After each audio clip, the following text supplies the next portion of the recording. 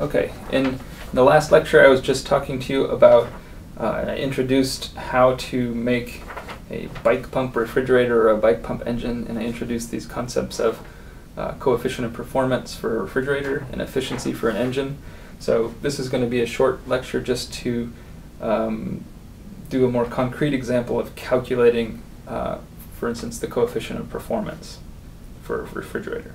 So we're going to go ahead and get a number for what that coefficient of performance is uh, for a particular example. Okay, so um, let's recall first um, this bike pump uh, refrigerator. Um, so we had a PV diagram that looks, this a little bit bigger. So you can see it more clearly here.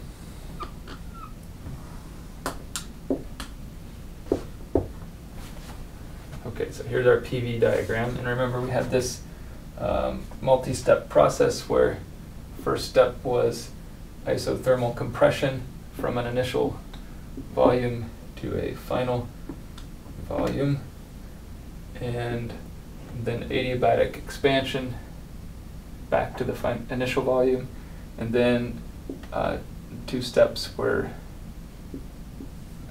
we absorb heat from the freezer or from the refrigerator side at this step and then come back to the starting temperature during this step.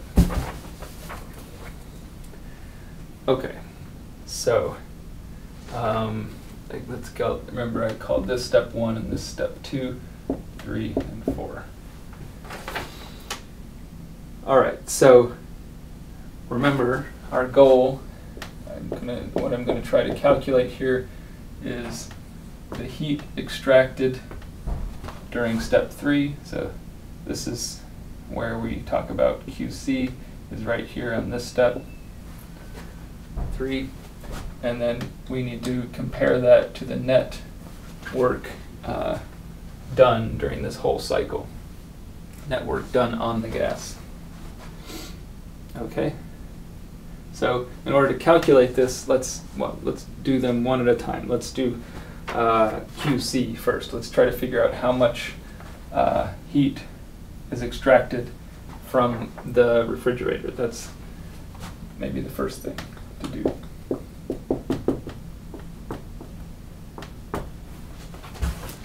And let's be more specific for this example. Let's say um, we need some numbers here. So let's assume that the initial volume is, uh, I, just to make up a specific example, let's say it's 32 times bigger than the final volume. So this compression that we're doing from here to here reduces the volume of the gas by a factor of 32. Okay, um, and let's see, do we need anything else for specific numbers? Maybe not. Let's leave it at that for now. Okay, so this is, uh, so the heat added here is, um, okay, so this is the heat added on step three, okay, right? So we know, this is one of our old formulas, right? Um, let's see here, we can think of it this way. The first law of thermodynamics says that in general, if you're going to talk about the relationship between heat exchange, work done, and energy changes of a system, this is a general statement that holds true. And in step three here, there are no volume changes, and there's no other work done, so this is zero. Only for step three, though. The other, well, steps one and two have volume changes, and this would not be zero. Okay, but for step three only, we have this Q equals delta U thing. So that is, um, okay, so we have some, uh, let's say, at this point, remember we, just let's call this has T low, so it's at some low energy. And here, let's, this is a T refrigerator, let's call it TF. So this is the change in energy during step three is going to be um, U F, the energy that it has when it's at TF, minus U low, which is the energy it has when it's at T low. Okay? All right, so using our uh, equipartition theorem, I guess we need to say what kind of a gas we're talking about. Let's see. Maybe. Let's assume, let's just keep it general for now. Let's say this is um, f over 2 nk tf minus f over 2 nk t low. That's just replacing the energies using equipartition theorem, relating them to the temperatures. Okay? All right, so we also know that um, for, okay, so what we need to know really now is how does, um, how do these temperatures relate to some of the known quantities?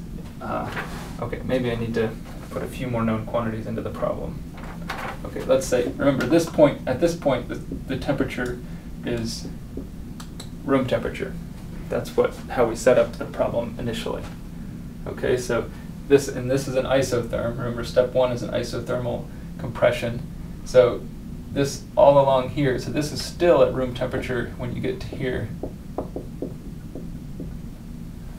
Um, so if we want to know how low does this T low get relative to room temperature, we can use an additional fact, which we know from adiabatic processes from before. We know uh, we know from uh, that this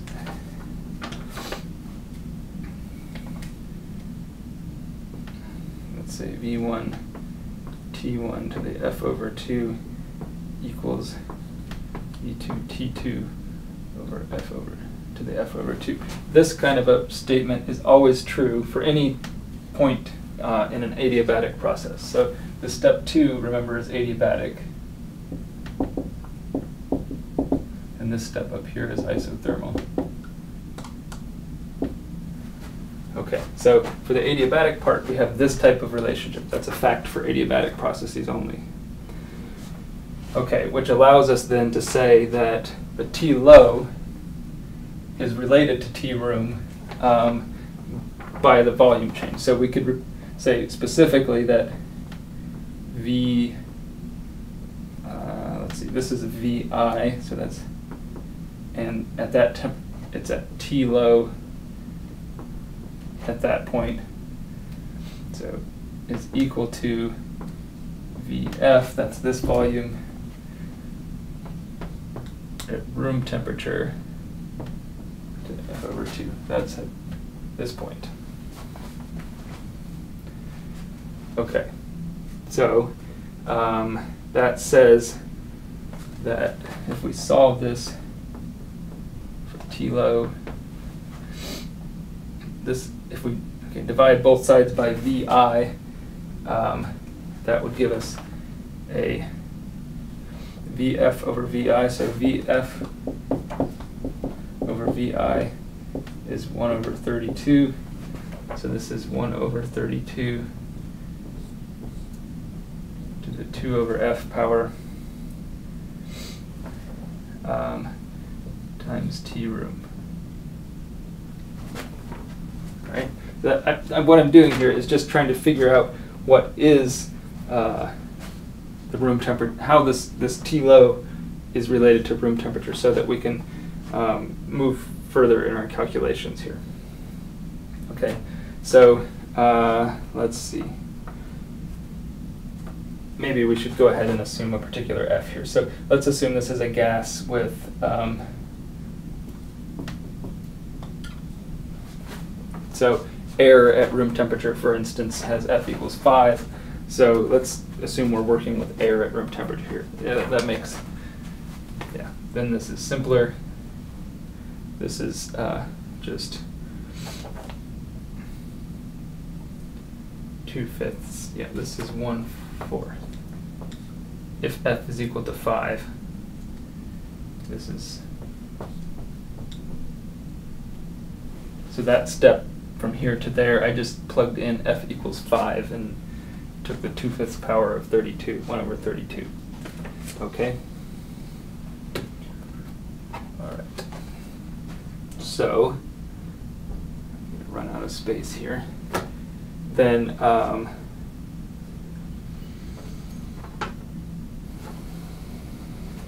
let's try to finish this this Q calculation. That's what we're trying to calculate is Q. So Q equals 5 over 2 NK TF minus T low. And now I have T low in terms of room temperature. That is T room over 4. Okay, so I'm going to leave it in that form for now, and we'll keep going here. Okay, so the next step is to calculate this W net. But let's try to keep that result of what is the Q. So this is the QC. Okay, so let's not erase that. So how about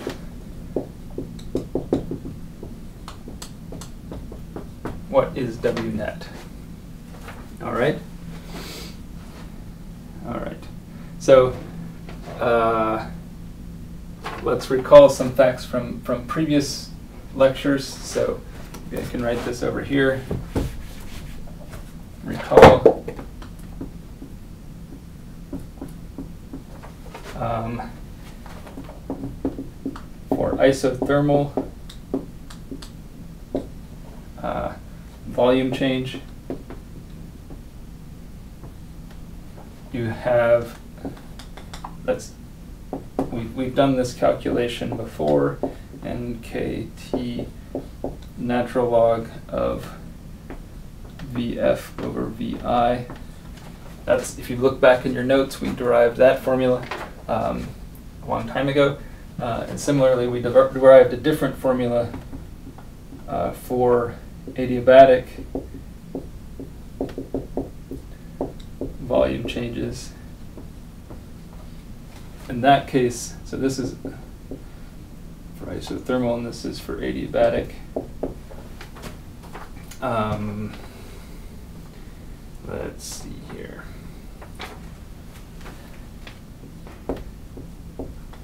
F over 2. This is a formula, again, that I'm just pulling out from some of my older, uh, older notes. Um, and here T, F refers to the final condition of the, of the temperature after some change.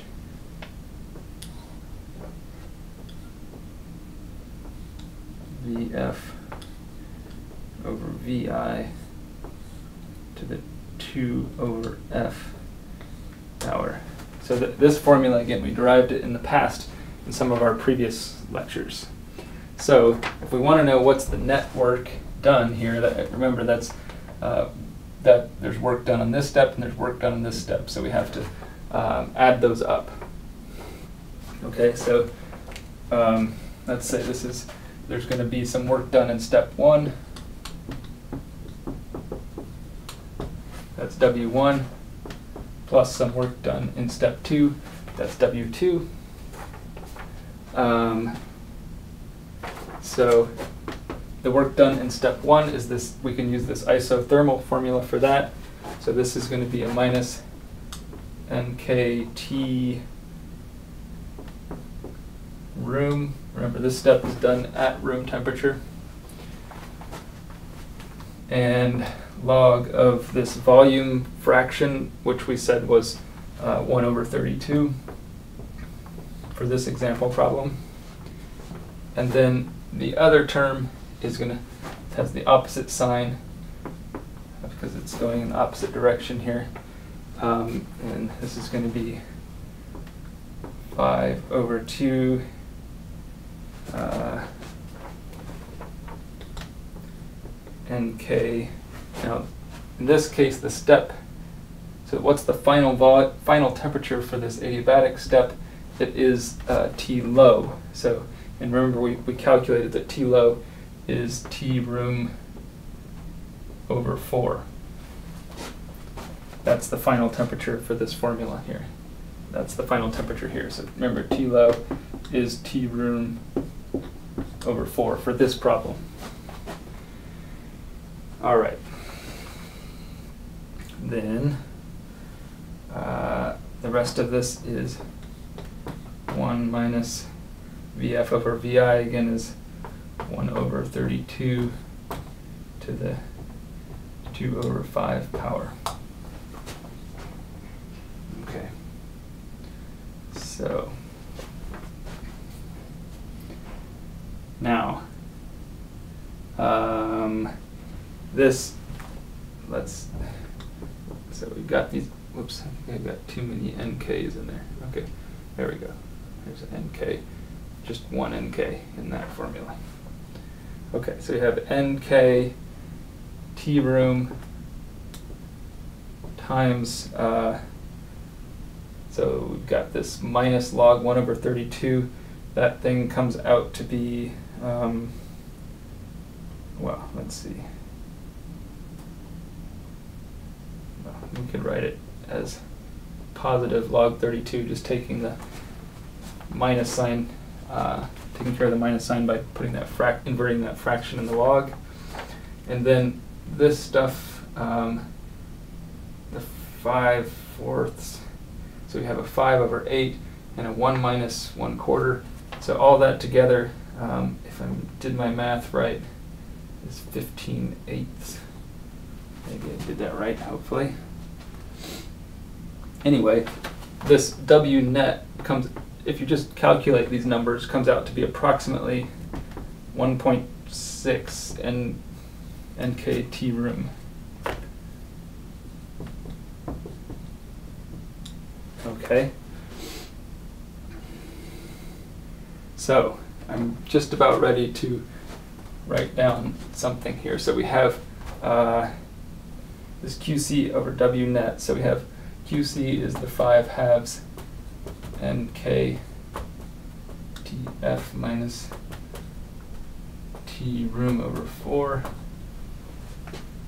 And then in the denominator we have a W net. Wait a minute, did I make a mistake here?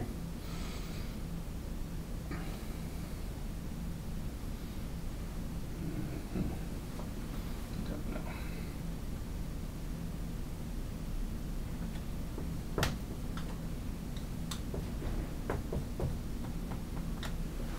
Okay.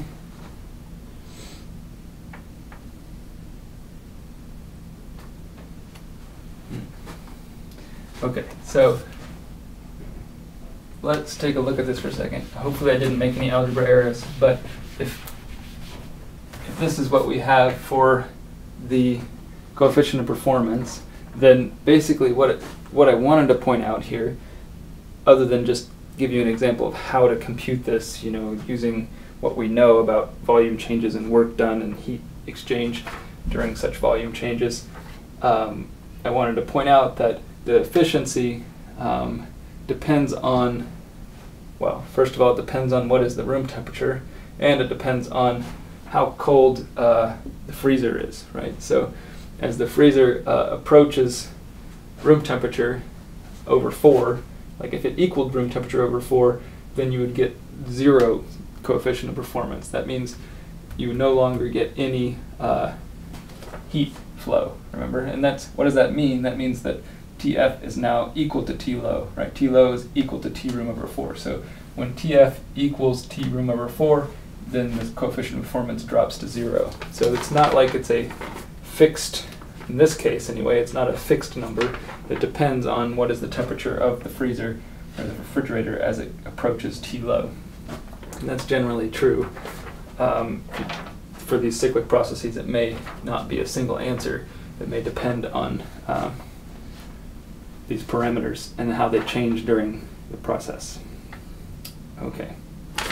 So I think that's it for what I wanted to show you, just to give you a concrete example of how to compute uh, coefficient performance, for instance. And similarly, if you were to compute efficiency, you're going to be working with these same kinds of formulas for work done and heat added and removed from the system.